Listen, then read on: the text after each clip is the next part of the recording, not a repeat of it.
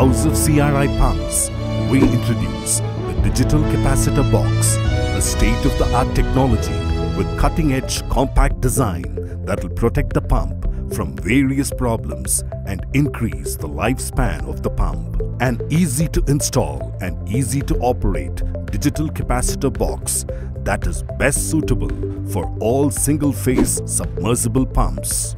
Features protects from dry run, overload, high and low voltage, bright LED display, auto manual options, compact design, it increases motor life. Digital capacitor box has the following functional keys and indications.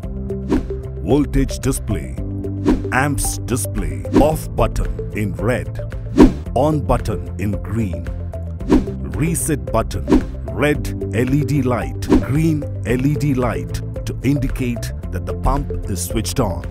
Error, no data shown while operating the digital capacitor box. If the display unit goes blank, don't panic. Check the input power supply to the capacitor box or the digital unit's PNN 4-way connector.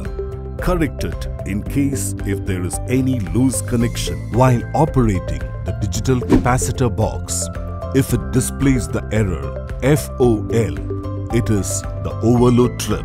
Check the motor rated current MRC at digital units by long pressing the reset button.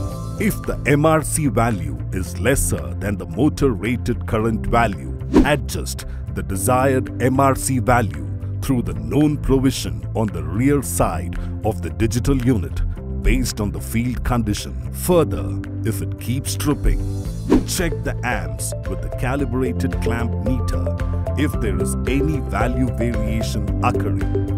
In that case, replace the digital unit. Plus or minus 0.2 amps is acceptable. Check and ensure the free rotation of the pump set.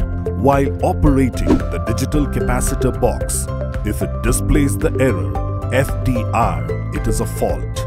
Dry run. The dry run fault happens if there is insufficient water in the borewell or wrong selection or low yield. In that case, check the model of the borewell and install the suitable pumps or else check the dry run value in digital units while switching on the power supply adjust the dry run setting based on field condition to set the desired dry run setting percentage. Keep the reset button pressed and switched on to set the desired dry run setting percentage.